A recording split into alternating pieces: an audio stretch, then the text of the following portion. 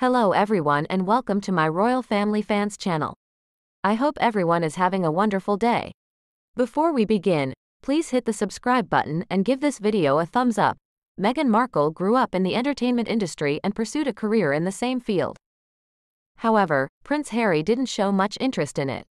He appeared unsuited and uncomfortable when the Duchess of Sussex filed a financial demand in order to sign the divorce papers. A source close to Doria stated that after the divorce, Meghan might go back to working as a full-service yacht girl. Despite her age, Doria believes there might be some 90-year-old billionaires for her to connect with.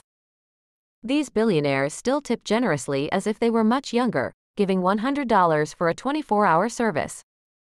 This amount is significantly higher than what my mechanic charges for similar services. Meghan has previous experience working in diners, bars, and as a dancer. Marca, citing the British press, reported that Archie and Lilibet's doting mother, Meghan, has filed a financial demand of $80 million to finalize the divorce. Additionally, Meghan is seeking sole custody of the children, even though they are not her biological kids.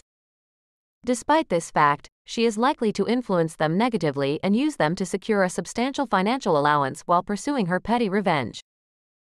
As this transatlantic quasi royal feud continues, a source close to Doria reveals that Harry has initiated the divorce proceedings, and Meghan is insisting on an $80 million settlement before signing the papers.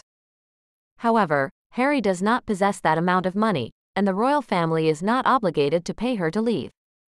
Charles doesn't need to provide financial incentives for her to go away, as Meghan is effectively self destructing on her own.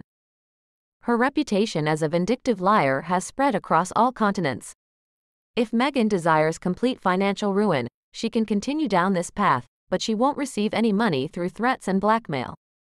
Filing a financial demand to sign the divorce papers does not align with the legal process in California, where the divorce between Harry and Meghan would likely occur. Meghan's lack of understanding of U.S. law is evident. In America, one cannot file a financial demand or demand custody without first filing for divorce. However, Harry can proceed with the divorce without providing any financial settlement. Meghan's signature is unnecessary. According to the source, in California, each spouse is entitled to 50% of all assets and debts acquired during the marriage. The custody issues remain uncertain. The recent sighting of Prince Harry and Meghan Markle occurred when they visited a financial consulting firm. Meghan was seen wearing a zip up jacket and glasses while taking control of the wheel. This visit further supports the rumors of a rift between the couple. Meghan's hat was likely worn to avoid being recognized by neighbors, but unfortunately, the paparazzi captured significant moments as they exited the building. Meghan always seems to be the only one laughing in the paparazzi shots, while Harry appears miserable, reinforcing the perception of their desperation. This is the first time the couple has been spotted since they officially left Frogmore Cottage at the request of King Charles. Frogmore Cottage, a Crown Estate property, was the couple's last remaining foothold in the United Kingdom. The king evicted them from Frogmore, despite the £2.4 million renovation they undertook, which they only used for six months. Please consider subscribing to our Royal Family Fans channel for future updates. Thank you for joining us today.